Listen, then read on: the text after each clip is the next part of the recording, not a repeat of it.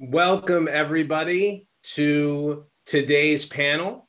Um, big thanks to the Columbia MSRED program within the Graduate School of Architecture, Planning, and Preservation. Uh, Rebecca, thank you for organizing uh, this panel. We have a lot to cover today. Uh, the title of the panel is Disrupture. We are talking to some of the top minds right now, uh, looking at uh, the future of work, the future of real estate in different and creative ways. Uh, we're very excited to have them here. We have uh, a panel that is so august, uh, so respected in our industry. I, I, I, won't introduce them. They can go around the horn and introduce themselves.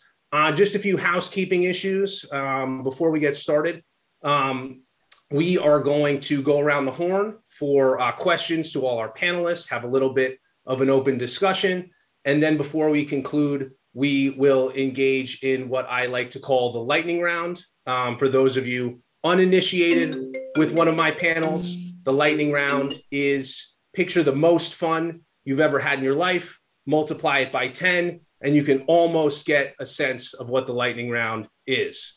Uh, my name is Zach Aarons. I'm a co founder and partner at Metaprop. We're an early stage venture capital fund focused on prop tech. I'm also a professor of prop tech at uh, Columbia GSAPP in the MSRED program. I'm thrilled to be here. Um, in case you miss the uh, the live stream of this, it is being recorded.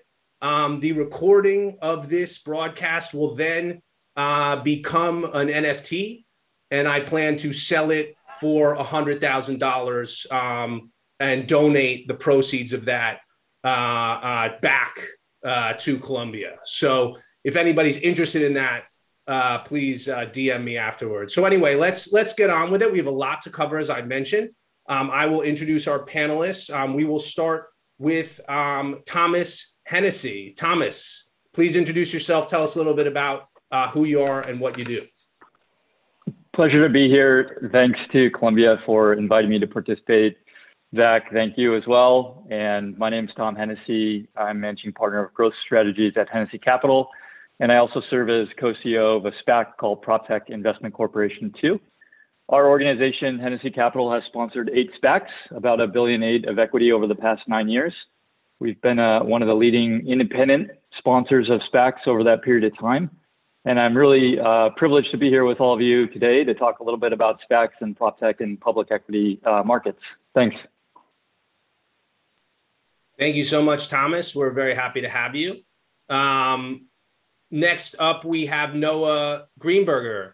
Noah Jerome, you want to introduce yourself? Sure thing. Uh, pleasure to be speaking here. Uh, Noah Greenburger. I work as an investment strategist for my family office, Time Equities. Uh, we're primarily in the real estate market, but over the past 10 or 15 years, we got more involved in uh, the public equity and you know the hedge fund side. Um, I specifically work uh, in identifying new growth technology markets to invest in, um, and I've also started my own technology startup called Merge. Thanks very much. Happy to have you, Noah. And last but not least, um, Ryan Simonetti. Uh, great to be here uh, today. Uh, special thank you to Columbia and the best MC out there, Mr. Zach Aarons. Uh, Ryan Simonetti, co-founder, uh, CEO of Convene. Uh, we're a tech-enabled hospitality brand uh, and services platform uh, that partners with both commercial landlords and also progressive organizations uh, to design, you know, what we think are premium places to meet, to work, and to host inspiring events. and we also have a suite of digital technology solutions, um, primarily to support uh, virtual and hybrid events and conferences like uh, the one we're hosting today. All right. Thank you very much, Ryan. Um, so let's get right into the meat and potatoes of the questions. Uh, this panel was tasked with investigating the long term and medium term impacts of return to work paradigms in our new world. Our new world has been impacted by COVID 19. Uh, we're seeing new trends in how people approach their lifestyles, how businesses look to hire, what businesses think about operating and running their own real estate. These things are changing, they're changing very quickly. um, we've all seen technology adoption accelerate as well. So um, I'll start with Thomas. Um, important, he's a humble guy, but it's an, it's an important to level set that this gentleman uh, has been in the SPAC game since before it was cool. Um, he's sort of like the Satoshi Nakamoto of SPACs, uh, if you can think about him, if you want to use a, a crypto analogy. Um, so I want to just get at the heart of the intersection of future work paradigm and what you're looking for, Thomas, as you have a new SPAC in the market, probably looking to make an acquisition. Is are some of the trends you've seen uh, that have happened in the past year impacting your decision of what type of company you're looking to buy? Maybe uh, uh, uh if, if you can, you know, del- take us through your thinking right now. Yeah, sure. Uh, well, I'm I'm not sure specs are cool yet, but nonetheless, uh, it's been a pretty dynamic market over the past year. So just to level set a little bit, um, we raised our first prop tech SPAC not too long ago, about a year and a half ago, um, in November of 2019. And we closed on our first business combination SPAC IPO with a company called Porch Group, PRCH, which is now traded on NASDAQ. And Porch is a vertical software platform for the home services category. So they provide software, ERP, CRM uh, to inspectors, moving companies, roofers, everyone in and around the home. And the home has become really important over the past year. Uh, the tailwinds in the residential category and single family are tremendous. People are spending more time in the home, and I know we'll discuss this later on, on, the, on the panel here. But people are spending more time in the home. They're investing in their homes. They're upgrading homes. They're renovating their homes. Why? Because we're spending more time in our home. And so, um, you know, it's it's a it's a really you know important topic today. Um, so as we see what's happening in the SPAC market, uh, the SPAC deals that have gone public, uh, let's say Matterport, which is a 3D um, 3D visual uh, spatial technology that allows you to essentially Google Maps or Google Earth um, through real estate, through a physical space, through an office, through a multifamily asset, through apartment leasing. Um, with Porch, you have the vertical software platform that allows people to do their jobs easier from home. So increasingly uh, with Hippo and Latch, Smart Access, so you don't have to touch the doors. Um, a lot of these deals are going public. States Title, which is now called Doma, is another one. Um, there's some really compelling companies that are going public that are accessing the public markets because there's tremendous tailwinds uh, behind their category. In terms of what we're looking at and what we're focused on, we're looking for category winners. So we're somewhat agnostic, whether it's commercial, residential, or construction technology focused. Um, we're looking for businesses that certainly have um, held up well, demonstrated the KPIs, and perhaps uh, tailwinds through um, the pandemic. And you're increasingly see some of the businesses that are going public today um, with some of those tailwinds. Um, all these investor presentations are available for all of you to go look up. So any of these public deals with SPACs, you can type in the investor deck and go to the websites and take a look for yourself. Thank you very much, Thomas. Uh, um, we will circle back to you later on on on SPACs and some other trends. Um, I want to pivot the conversation a little bit um, to Noah. Uh, Noah, you have experience um, investing in in hard asset real estate, and now more recently uh, running your own company, uh, your own tech uh, media company. Um, from our experience with our with our portfolio of uh, prop tech startups almost every CEO is now thinking about how they can leverage uh, labor arbitrages, uh, become a truly global organization, even if they're small. Essentially, maybe have a team in India, a team in Ukraine, a team in Argentina, figure out how everything's supposed to work from a time zone uh, and culture perspective, but essentially run their business that way where the, the, the, the company's never sleeping. Um, how have you changed or, or maybe not changed your approach as a CEO due to this new explosion in work from anywhere culture? Um, I was fortunate enough that maybe about a year before the pandemic started, when I was first forming Merge, um, you know, we made a top level decision that we wanted to keep the business as fluid as possible, you know, in the event that we wanted to change headquarter cities or anything like that. So we began building it um, you know, utilizing all these modern labor tools, um, you know, things like Upwork and Fiverr, from everything from graphic design artists to web development, um, and even in some instances, I was hiring, you know, uh, heads of VC funds as consultants who lived in New York, maybe 10 miles from me, and we never met. We worked together for an entire year, and this was before the pandemic. Once again, um, so I think we're really seeing a new paradigm in employment and in the way that you can, you know, create these real and you know productive connections with people um, despite distance or even in the case where that's not a factor it might just be simply more convenient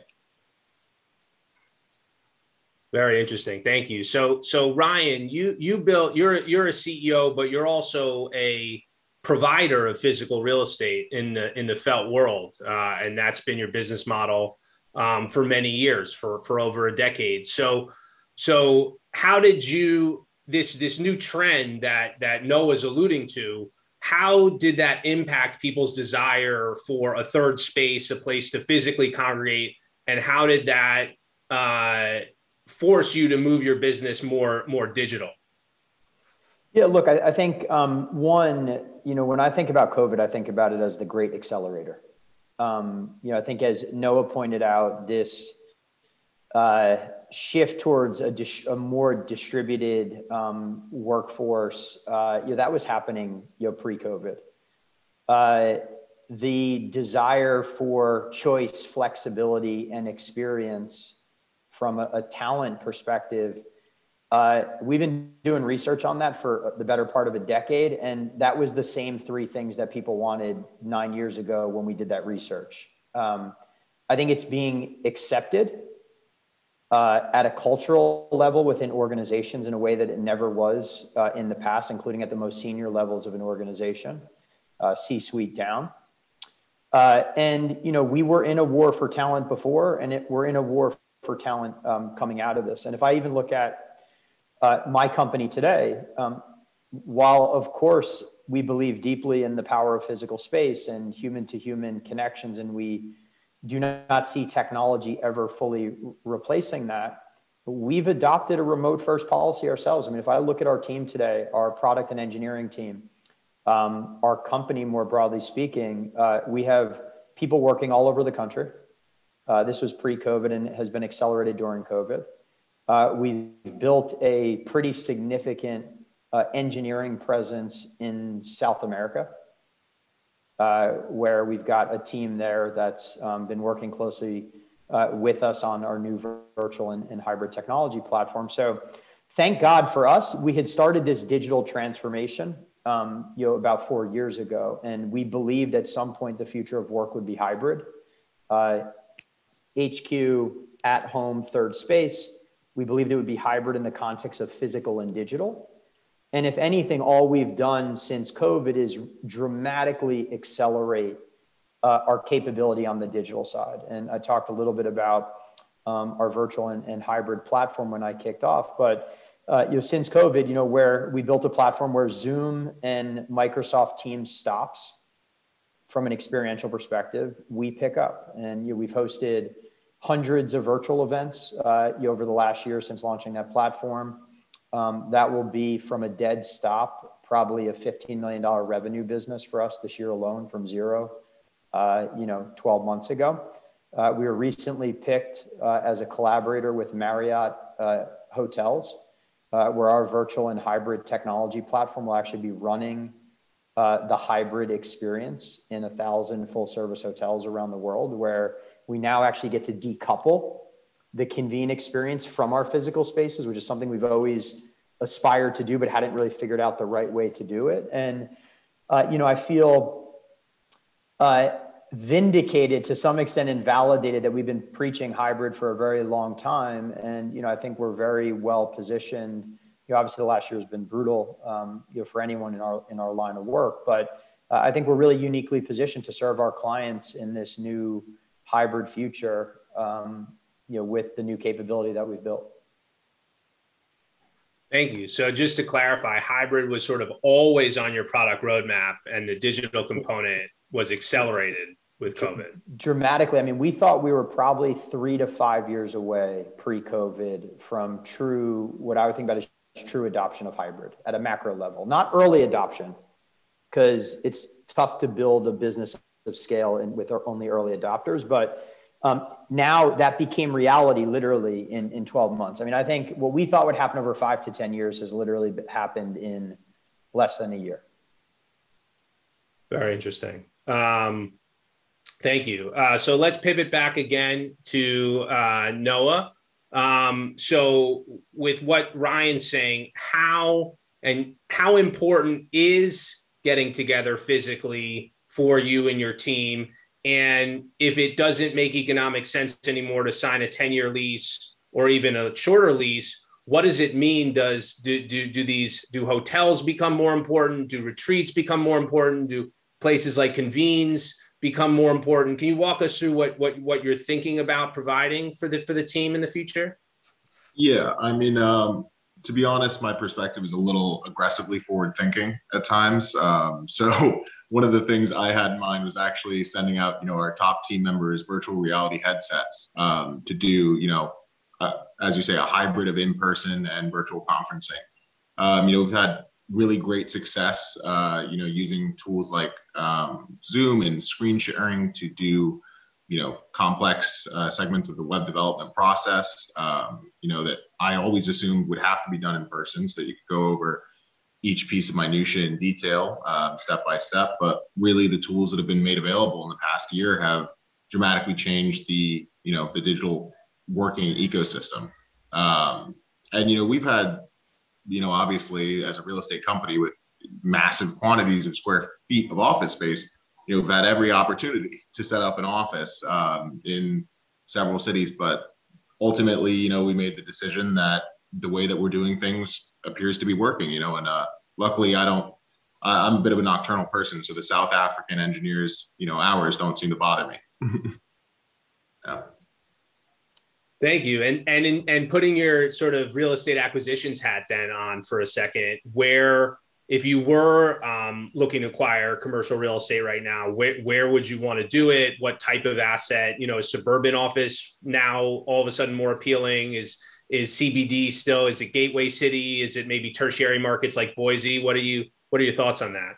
Well, we left the New York market maybe three years ago. We wrapped up on a luxury tower downtown, 50 West Street. And after that, we kind of felt that the luxury market was flattening. And, you know, I mean, during COVID, we experienced pretty phenomenally bad metrics from a lot of, you know, our retail and commercial assets. Commercial, you know, office space did okay, but I think retail was pulling 40% rent roll or something like that.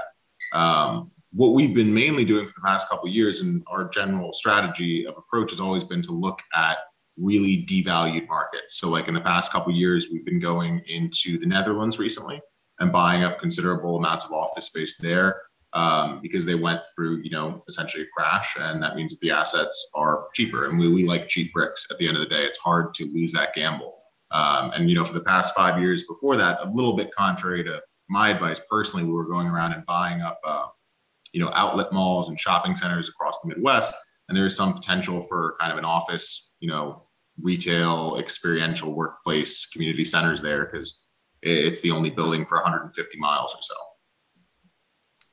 Yeah, I think that was a trend we were seeing. Uh, the repositioning, it's not so much repositioning, it's really reimagination of the suburban mall. And yeah. does this become the community center? Does this become the new church, co working, gym? you know, mall owners for so many years were reluctant to put um, uh, tenants like gyms in their in their facilities. They were hesitant to put uh, a convene uh, type of location, and now we're seeing a, a an embrace, um, partially because the the dry goods retailers had have been struggling, but but but also this is sort of the wave of the future. And and to your point, there aren't necessarily uh, small towns uh, uh, uh, scattered about in, in the United States in the same way there might be in Europe. Um, anyway, uh, uh, thank you for that. Pivoting back again to Thomas, um, how do you view, you know, you were mentioning um, Porch, which is the company that you successfully despacked and the amazing tailwinds that, that are really results of fundamental undersupply um, of, the, of, of, of housing, um, migration patterns, uh, record low mortgage rates, um, and people starting to care about their homes a lot more because they're spending a lot of time in them. Um, we've also seen a phenomenon of people starting to care about their investment portfolios in a way that they maybe never did before. You know, I trust my person, I put the money in an ETF. Now it's become almost like sport. And in fact, with sports sort of shutting down, um, for many, the, the stock market sort of became, and, and I bring this up because I, I follow uh, what we call FinTwit on Twitter and and the uh, the the subreddits and whatnot. And Porch is actually spoken about very very favorably in these communities of retail investors. They they love the stock. They think it's got a lot of tailwinds and a really great management team. So anyway, long lead up, but but in your SPAC practice, how do you view the emergence of the newly empowered, uh, levered up uh, uh, an organized retail investor, and how does that impact some of the decisions you might be making, or or not, um, for which companies you're looking to do business with? Sure. Um, short answer: uh, we view it as a very positive trend, um, and absolutely yes, the retail investor. It's pretty clear that uh, working from home is fueling retail activity. So mobile app downloads for retail brokers are way up monthly downloads of Robinhood and Webull are well above the old guard like TV, TD Ameritrade, Fidelity, E-Trade, and Schwab. And web traffic for retail brokerages is at an all-time high.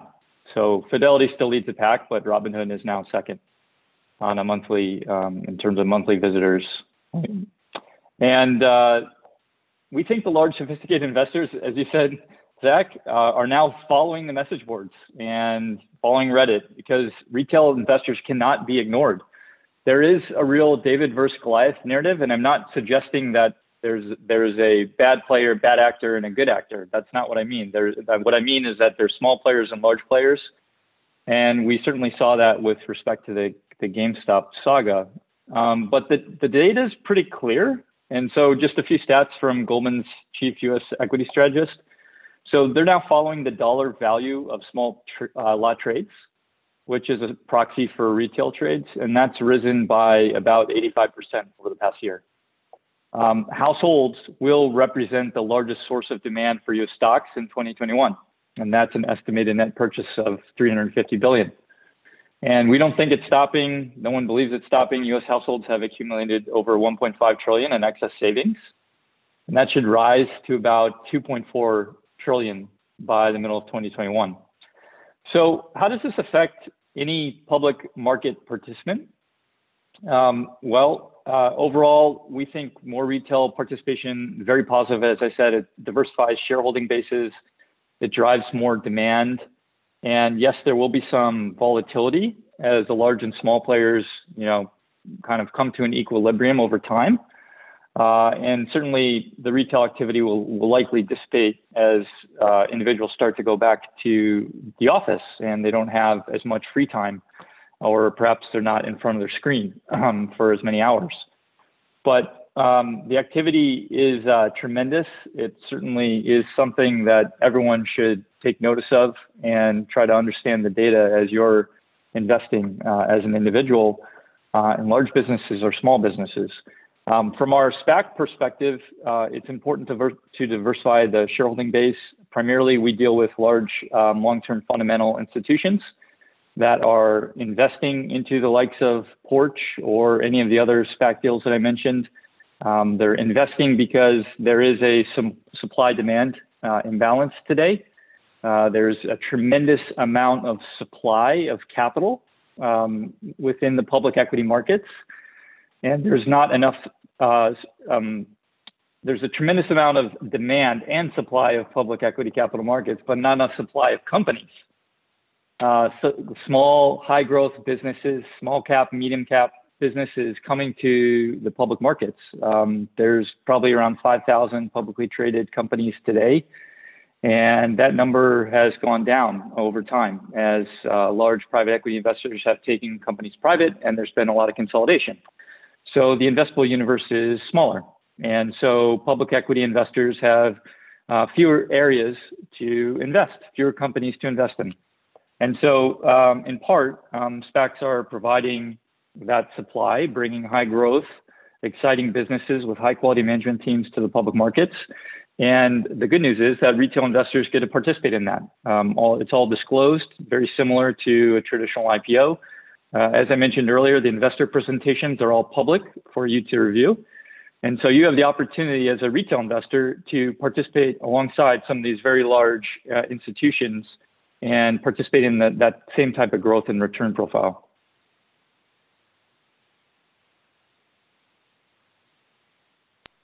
Sorry, can you repeat what you? I didn't catch what you said. I was just on my Robinhood account. Can you just repeat it? I'm just kidding. Um, there was an awkward silence there for a minute, Zach. uh, I think I think he said he's not a cat. I'm, I'm pretty sure I caught that. um, thank you very much, Thomas. It's it's truly fascinating. I think people consistently underestimate the power of these investors, and what I tell people is ignore them at your own peril. Uh, and I think your point about the which which is not talked about often enough the sort of 30 year bull market we've experienced in this country in private equity has taken so many companies private that would have been public and that maybe there is this fundamental supply demand imbalance and even if there is an overcorrection and the market sort of gets flooded with these uh, uh, SPACs, um, you know, at the end of the day, we're actually sort of uh, um, reinvigorating a market that was that was dormant for a while, and we just didn't realize it was dormant. Um, anyway, I'll yeah, move back to my. Yeah, go ahead. Sorry to interrupt. There's there's one more point. I mean, we're we're always speaking. Uh, most of the media is speaking about um, retail investors who are trading from home, but the truth is that also the large institutions are also trading from home in front of their desks. And when we're going out um, on our road shows to either raise capital for our businesses in the form of uh, PIPE, um, private investment in public entity, or raising a new SPAC, uh, we're speaking with some of the largest, uh, most sophisticated, large institutions that are working from home, just like everyone else. And the roadshow, as we knew it, um, to go around Manhattan or Boston or any other major money market, um, doesn't happen anymore. There's virtual bell ringings. There are no longer in-person bell ringings. And so I think we have to acknowledge, and the topic of this this panel is uh, working from home, but it's not just retail; it's really across the board. And so, and and these large um, these large hedge funds are terribly efficient, uh, terribly efficient um, when you're able to work from home and and take back-to-back Zoom meetings for 30 minutes at a time and evaluate new investment opportunities, either roadshows or pipe investments, and so on and so forth.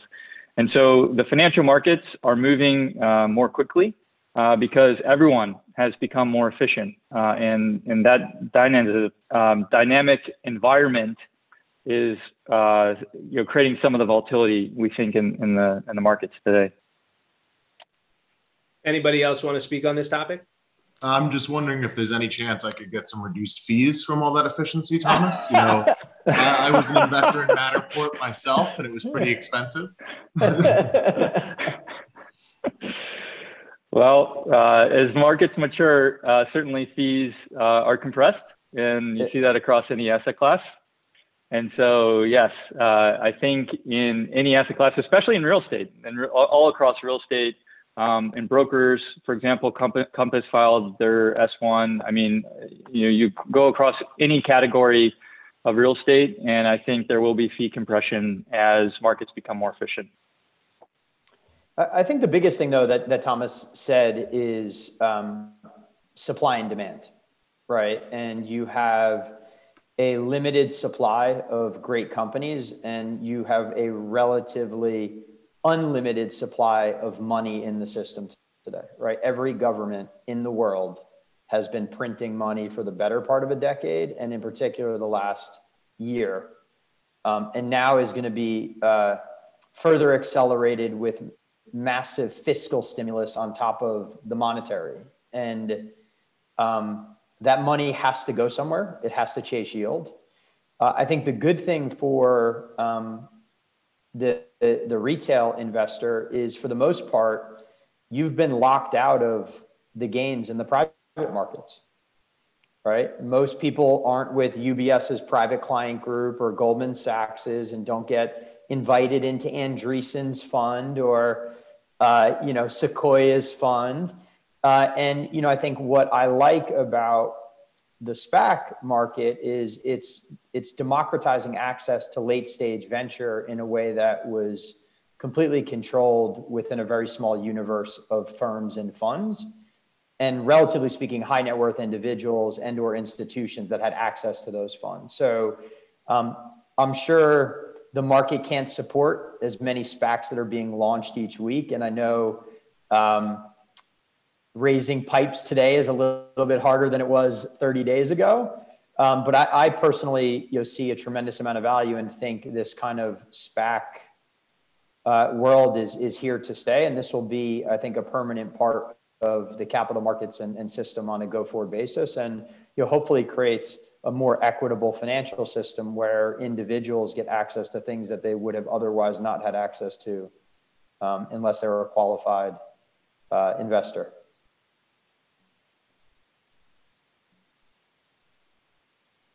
Thank you.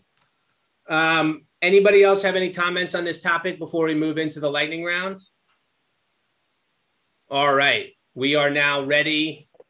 For those of you in the audience, this is the lightning round. This is the part of the program that our august panelists have not prepared for.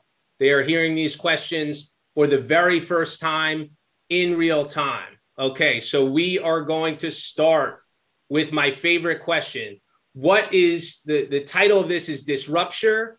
What is the most disruptive technology that is going to hit the real estate market in this decade? Is it blockchain, robotics, artificial intelligence, computer vision, 3D printing, or something else entirely? I will start here with Noah. Um, so I have a bit of a out of the box thesis on that. I think it's actually probably virtual reality because um, similar to the way that you know our auditory experiences were simulated by the early radio and eventually the ability to throw music or our voice across the globe.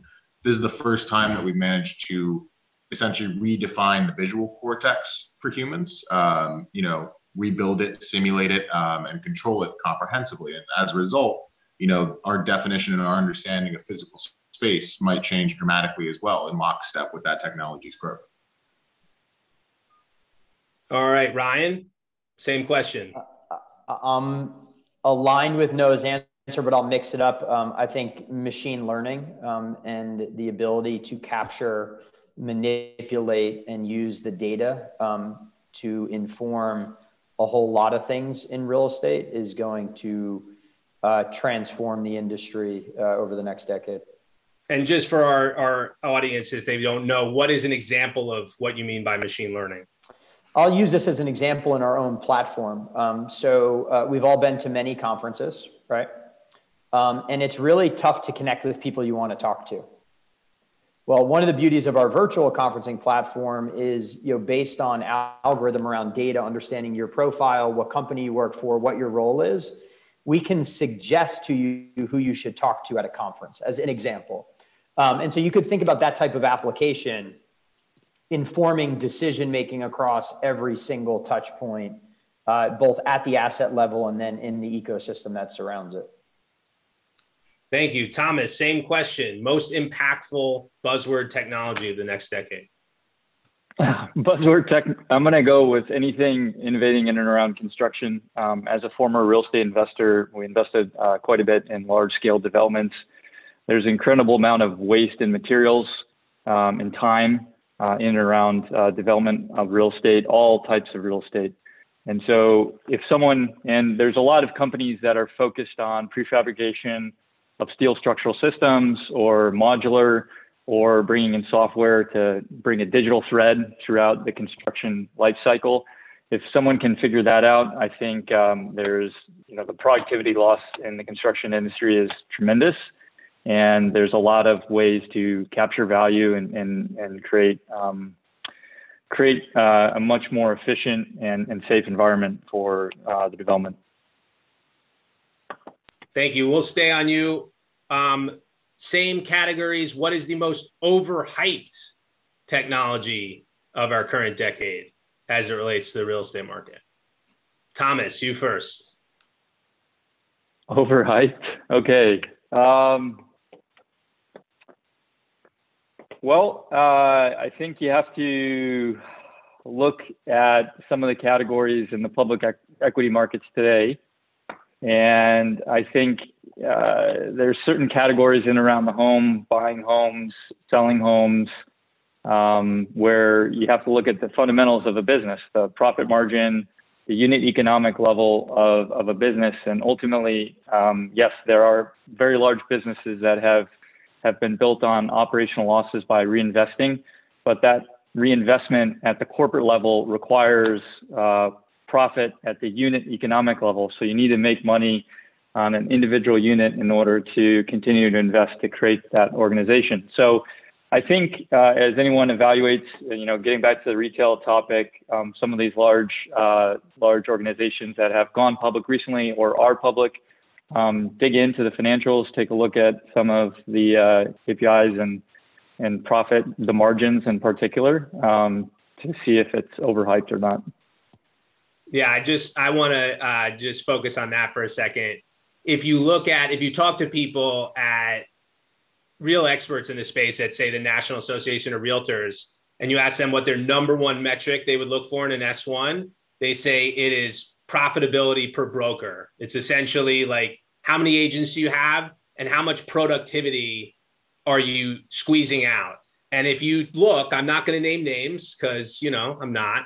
But if you look across a spectrum at that one metric, the companies that trade at the lowest multiple in the public equity markets have the highest productivity per broker, which shouldn't necessarily make sense. So, so very good point, Thomas. Ryan Simonetti, same question. Most overhyped technology. So right one now. thing I'm going to say about valuation is it is in the eye of the beholder, and perception is oftentimes reality. So we can't forget that, despite what the metrics say or don't say. Uh, I will say and agree with Thomas. Um, and I've seen this. You know, I'm a pretty active early stage investor myself personally. Uh, not enough talk in this world about unit economics, period. And so I, I think that that's something even for founders out there and and and teams, management teams, it's something that just should always be in the conversation because scale without unit ec- economic profitability is is a lot of work for for no reason at the end of the day. Uh, I would say um, if I had to pick one, I'd say like blockchain, crypto, and how fast that really has an impact on the real estate uh, industry. Uh, I understand the technology, clearly value in um, accelerating parts of the process from an authentication standpoint, but uh, there's a lot more things I'd be thinking about investing in today um, that will have a much bigger disruption on the industry and transform the industry and probably make you a ton more money as an investor. Yeah, I would have to agree to that. Um, we we've been trying to disrupt uh, real estate and title processes using the blockchain since 2013 and it still hasn't really happened yet. We have successfully transferred title on the blockchain but it was done as more of a novelty. And it didn't really save anybody any time and it didn't really increase the productivity of the agents or the lenders or the uh, title uh, folks or the county clerks involved in that transaction. So uh, definitely agree with you. Um, all right noah same question most overhyped. Um, the most overhyped? You know, I'd be tempted to probably say, uh, you know, the utilization of blockchain technology outside of title again, but I don't want to repeat what's already been said. Um, from my perspective, I think the most overhyped technology in the real estate space right now is one that we've actually relied upon for quite a long time, which is actually our real estate agents. Um, I think they're very rapidly being displaced uh, by some of the prop tech that we've seen. You know, I, I recently passed on an investment for you know complicated valuation reasons, but um, they were similar to Latch, except that their whole premise was that you could go on an app, look at a neighborhood, and find an apartment, and simply walk into it. And if you liked that apartment, you could lease it on your phone in seven minutes. It didn't matter if it was two in the morning or anything like that. There's no waiting on an agent. There's no communication, and you know ultimately comps can be done by software. Um, so it's it's a uh, it's hard to justify now. Very interesting. Yeah, I agree. I saw that same company as well. Very interesting company started by Israeli yeah. gentlemen. Yeah. Great founders. Yeah. Um, if you're aspiring venture capitalists out there, if you back people who are in the elite unit of the IDF, they're probably good at technology. So yeah. little little pro tip. All right, we have time for investment hack right there. We have one final question for the lightning round. Uh, appreciate everyone's uh, uh, uh, patience on this beautiful sunny day. Um, we will start here uh, with Noah. Um, one person, sort of hero of yours in the real estate world, can be living, can be dead. Um, who who is that? Who's that north star for you? Whose career you admire? I'm gonna have be pretty corny and pick my dad, obviously, on this one. Um, you know, 50 years of industry experience, and he's really made a way for himself. He started at his own father's accountant at 11 years old. Um, you know, I'm a bit slower to follow in the family footsteps, but I'm starting to get there. Um, but you know, always composing yourself with integrity throughout a career of that length is uh, is really something to be admired.